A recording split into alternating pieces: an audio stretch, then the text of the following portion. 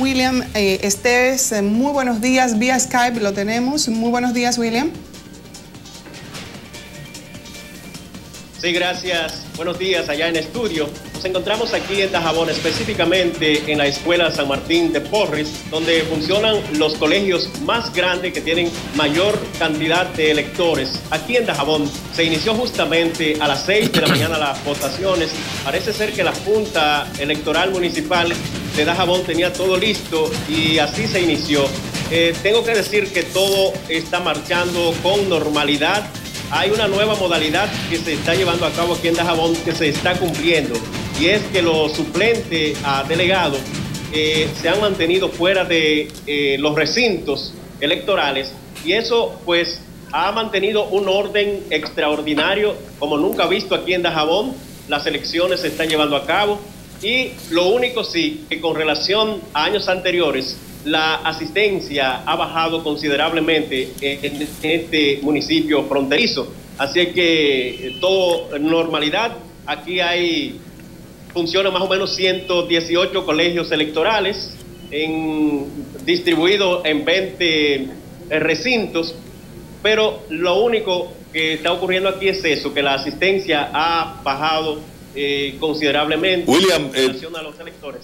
Sí, William, tenemos una pregunta. ¿Tienes experiencia en procesos electorales? ¿Cómo ha sido la asistencia eh, en, este, en esta zona del país en cuanto al proceso y su participación en, diferentes eh, torneos electorales?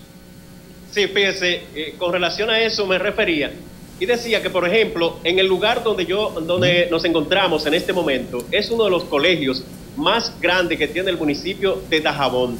Y con relación a años anteriores, aquí la participación era masiva. Sin embargo, hemos visto que ha bajado considerablemente, aunque algunos presidentes de mesa dicen que se mantiene normal, no. Eh, ha bajado considerablemente la asistencia. Esperan que a medida de que suban las horas del día, pues los electores acudan a los centros de votación. Sin embargo, en años anteriores, ya a esta hora, a esta hora aquí veíamos eh, una cantidad enorme de los electores que en este año no está ocurriendo. ¿Alguna otra pregunta? Sí, William. Me gustaría saber del clima. Eh, sentimos que hay bastante sol detrás de ti y queremos saber si esa es la situación realmente. Sí, sí, sí, cierto.